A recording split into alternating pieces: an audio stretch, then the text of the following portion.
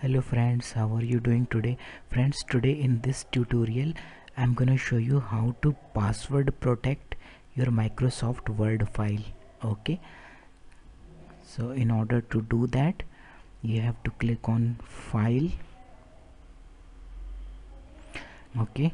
You have to click on file and then you have to click on save as okay? And then you have to click on browse okay? Now you have to click on tools and then general options okay? Okay now under general options it is giving you an option to put a password and make this file secure with a password okay? So you can put any password down here?